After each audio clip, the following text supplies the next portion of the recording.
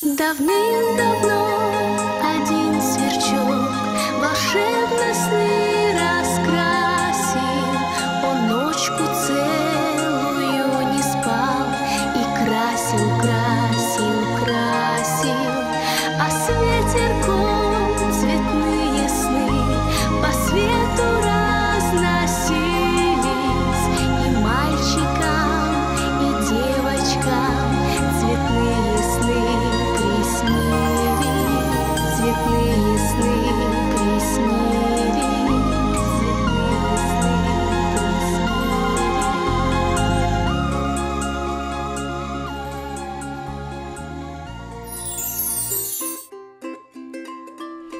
вечер, мальчики и девочки.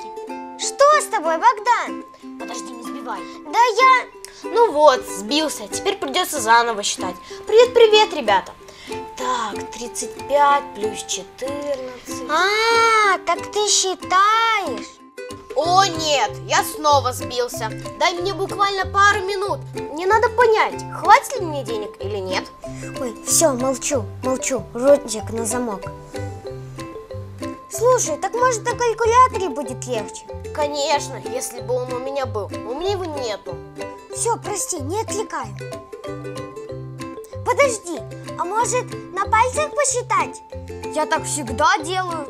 Короче, все, потом посчитаю. Нет, ну если серьезно, давай на пальцах. Я тебе даже помочь могу. Не хватит твоих рук, на моих посчитаем. Ой, ну ты даешь. Еще скажи, что на пальцах ног считать будем.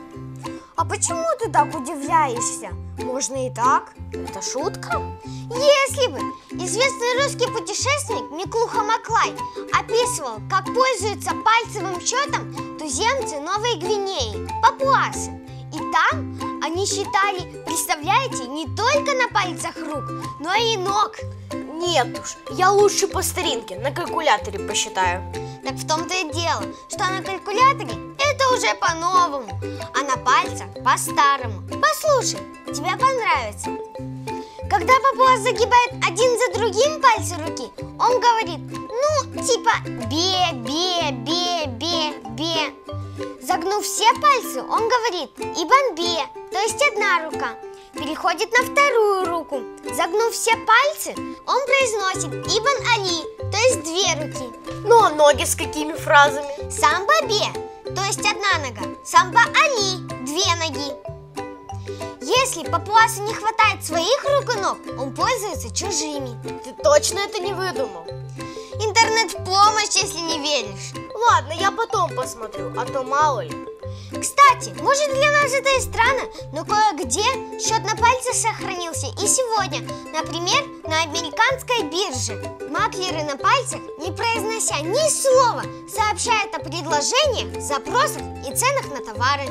Но ведь так можно сбиться. Уверен, что нет. Это уже привычка. Все равно, что считать на счетах или калькуляторе. О, кстати, у моей бабули до сих пор на работе счеты остались. И она говорит, что на них легче и быстрее считать.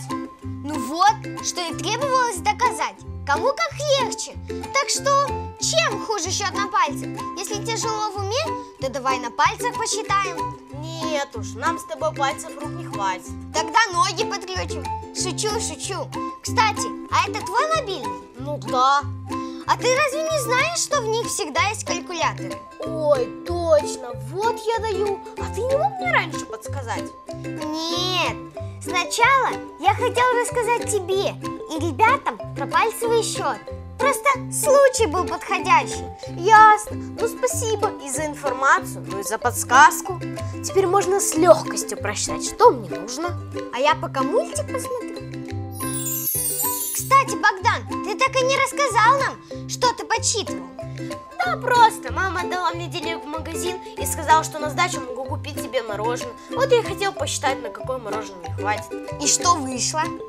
Даже на целых два хватит. Одно для тебя, одно для меня. Ого, вот это поворот. Пошли скорее в магазин. Пока-пока, ребятишки. Пока-пока, скоро увидимся. Я люблю шоколадное. Я тоже. Цветные сны совсем не спят, Чтоб нам спалось не скучно, Но чтобы их не упустить, Надеть пижамку нужно, В постели тихо задремать И звездами укрыться, И сон цветной за хвост поймать, Он спрячется